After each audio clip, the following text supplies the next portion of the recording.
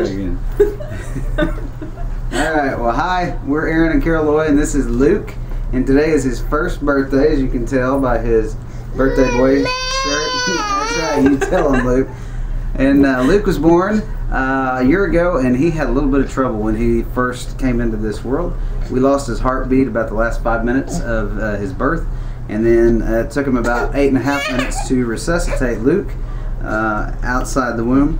He came to Vanderbilt Children's Hospital where he um, went, underwent a, uh, at that time, experimental treatment called head cooling, and uh, spent three days there, and then we finally got to hold him. And um, the good news is, is that Luke is perfectly normal in every way, as you can tell. He's a little bit, a little bit, of a wild child, but we love that. He is uh, our miracle baby, and we love everything about him. So be encouraged today. Things are good.